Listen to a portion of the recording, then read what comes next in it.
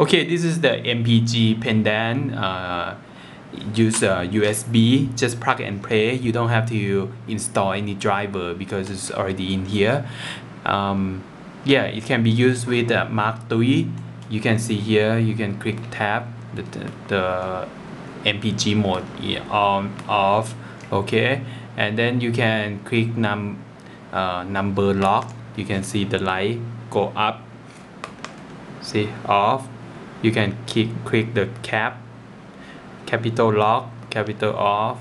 See when number lock off you can click X.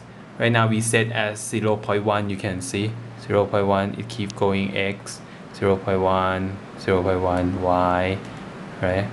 Keep going Y Y down. You can see. And C down.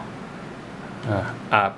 Okay and it has uh, many function. It's not only used for Mark III you can see I'm gonna turn on the word application see?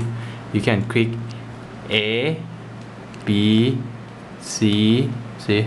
Space space space X Y C you everything. You uh, so it's very nice pendants MPG okay? Thank you